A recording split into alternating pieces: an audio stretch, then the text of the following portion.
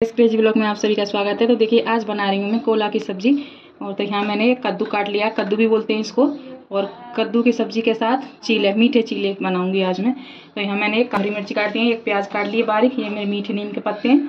और ये मैंने मेथी और जीरा लिया है। देखिए, और यहाँ मैं गैस करूँगी चाहे तो देखिए, यहाँ मेरा तेल हो चुका है। मैं आपको डाल के दिखाऊँगी। देखिए। धुएँ निकल रहे हैं मेरे तेल में से। अब मैं मेथी और जीरा डालूँगी। हमें ये मीठे नीम के पत्ते, मीठे नीम के पत्ते डालूँगी। अब इसमें मैं प्याज डालूँगी। इसमें दो हरी मिर्ची डालूँगी। हम इसको थोड़ा सा भूनूँगी। को भून लिया है। और मैं इसमें एक टमाटर काट काट के डालूँगी इस तरह से। तो इसमें स्वाद अनुसार मैं नमक ऐड करूँगी इसी में, और मैं स्वाद अनुसार लाल मिर्च पाउडर ऐड करूँगी, और मैं थोड़ी सी हल्दी पाउडर ऐड करूँगी। मैं बना रही हूँ हलवाई स्टाइल में तो मैं एक चम्मच भर के धनिया पाउडर ऐड करूँगी, और मैं अब सभी को मिक्स करूँगी। इस तरह से हम मैं एक चम्मच इसमें थोड़ा सा गरम मसाला ऐड करूँगी। ये मैंने खड़े मसाले अपने हाथ से पीसे हुए हैं तो मैं इसको एक चम्मच ऐड करूँगी। सभी मसालों को इस तरह भून के मैं इस तरह से भून के और मैं ये कद्दू भी इसमें ऐड कर दूँगी अब। बहुत टेस्टी लगते हैं मीठे चीले के साथ ये कद्दू की सब्ज़ी। आप एक बार ज़रूर बनाइए। अगर मेरे चैनल में नए आए हों तो लाइक एंड सब्सक्राइब करिए प्लीज़ थोड़ा सा सपोर्ट करिए मुझे। तो देखिए, मुझे पानी नहीं डालना है इसमें, क्योंकि मेरा कद्दू बिल्कुल कच्चा है और मैं इसमें बिल्कुल पानी नहीं डालूँगी। तो मैं इसको मसाले मिक्स करके और मैं इसको ढक दूँगी। और मीडियम आँच पे इसको पकने दूँगी मैं। तब तक मैं फ़ैन घोड़ लेती हूँ मीठे चीले का। तो मैंने आटा लिया है अपने परिवार के हिसाब से। मेरे परिवार में छः सात लोग हैं तो उनके हिसाब से मैं बना रही हूँ। तो यहाँ मैंने एक कटोरी चीनी ली है। मैं इस चीनी को भी इसमें ऐड कर दूँगी। चाहे तो आप घोल के भी डाल सकते हो और सादा भी डाल सकते हो। तो मैं आपको इजी तरीका बता रही हूँ। और इसमें मैंने थोड़ा सा गुड़ का घोल बनाया है। तो मैं इस घोल को भी इसमें ऐड कर दूँगी। छान रखा है मैंने, पहले से साफ़ कर रखा है। तो इसमें इसको मिक्स करूँगी मैं। और इसमें थोड़ा थोड़ा सादा पानी ऐड करूँगा और इसको मैं मिक्स करूँगी इस तरीके से। पतला घोल बनाऊँगी, देखिए मैं। तो देखिए मैंने इस तरह का घोल बनाया है। इस तरह का मैं आपको बताऊँगी, एक भी लम्स नहीं है, देखिए। इस तरह का होना चाहिए। और इसमें मैं दो तीन इलायची कूट के डाली है मैंने। तो मैं छिलकों को हटाऊँगी और इसमें ये चाय के काम आ जाएँगे वेस्ट नहीं फेंकूँगी मैं उनको। तो मैं इलायची पाउडर भी इसमें ऐड करूँगी। जिससे क्या बहुत अच्छी खुशबू आती है चीले में। मैं थोड़ा सा थोड़ी सी मैं इसमें सौंफ के दाने ऐड करूँगी। इस तरह से क्रैश करके मैं सौंफ के दाने ऐड करूँगी। देखिए, मैंने सौंफ डाल लिए। मैं थोड़ा सा इसमें फ़ूड कलर ऐड करूँगी जैसे कलर अच्छा आता है। और मैं इसको सभी को मिक्स करूँगी इस तरीके से। पुए जैसा, जैसे मालपुए होते हैं ना, उस तरह का ऑयल भी नहीं लेते ये चीले। इसलिए मैं चीले बनाऊँगी। और पुए बनाते हैं तो पुए में ज़्यादा ऑयल जाता है। और देखिए, सभी को इस तरह से मिक्स करूँगी मैं। मैं इसको रख दूँगी पाँच मिनट के लिए, ढक के लिए। इससे मेरा ये घोल आटा है जो फूल सके, चिपके नहीं तवे पर। तो देखिए तो इसमें मैं थोड़ा सा अमचूर पाउडर ऐड करूँगी, जिससे खट्टा मैं वैसे तो मैंने टमाटर डाल ही दिया है, और थोड़ा सा खट्टा और चाहिए, खट्टी मीठी अच्छी लगती है सब्ज़ी। तो इसमें मैं थोड़ा सा अमचूर पाउडर डाल डाल दिया है मैंने, और इसमें थोड़ी सी कस्तूरी मेथी ऐड करूँगी, जिससे क्या अलग महक आती है, और खाने का अलग ही आनंद आता है, और टेस्ट बढ़ जाता है।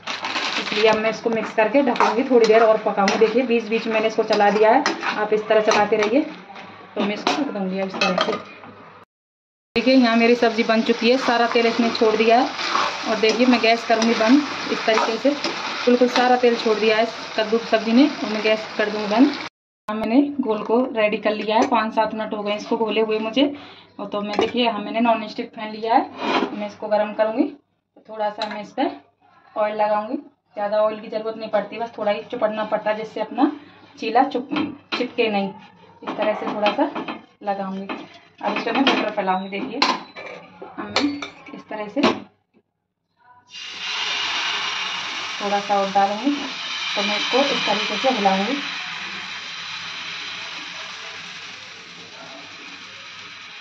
एकदम मालपुए स्टाइल में बना रही हूँ मैं, और एकदम हलवाई स्टाइल में। तो देखिए। अब मैं इसको पकने दूँगी।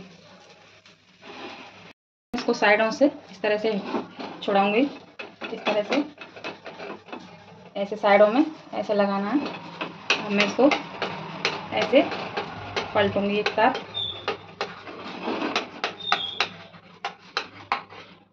इस तरीके से देखिए कितना परफेक्ट चीला बनकर रेडी हुआ है मेरा। अब इसको मैं सेकूँगी। देखिए कितना मालपुए स्टाइल में बनाया है। एकदम जाली जालीदार है बिल्कुल एकदम। देखिए कितना टेस्टी चीला बना है मेरा। खोले तो मुझे अलट पलट के दोनों तरफ़ से सेकना है इसको।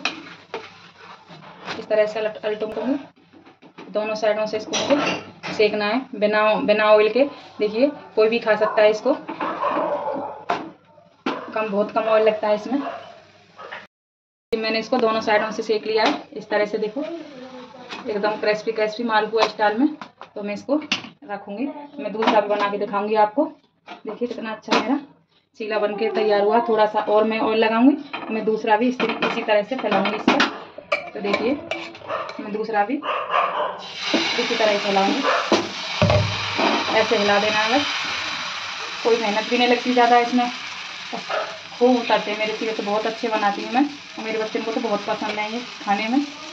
तो देखिए, मैं इसको थोड़ा सा साइड से कर दूँगी तो मैं इसको पकने दूँगी मीडियम आँच पर फुल आँच पर नहीं सेकना है आपको। मीडियम आँच पर ही सेकना है देखिए मैं इस तरह से बना रही हूँ। आपको सर्व करके भी बताऊँगी। पर थोड़ा सा ऑयल लगाऊँगी इस तरह से। और बहुत अच्छे बनते हैं। अगर मेरी वीडियो आपको पसंद आई हो तो लाइक एंड सब्सक्राइब करिए करिए प्लीज़ थोड़ा सा सपोर्ट करिए। और मेरा न्यू चैनल है। तो मैं इसको इस तरह पलटूँगी। देखिए, इधर से सीख चुका है मेरा चीला। तो मैं इधर से भी सेकूँगी तब तक मैं सर्व की तैयारी करती हूँ। सर्व करूँगी मैं इसको। ऐसे ही मैं नमकीन चीले बनाती हूँ। और मेरी वीडियो नमकीन चीले की पढ़िए आप एक बार देख सकते हो मेरे चैनल तो यहाँ मैं सर्व कर रही हूँ।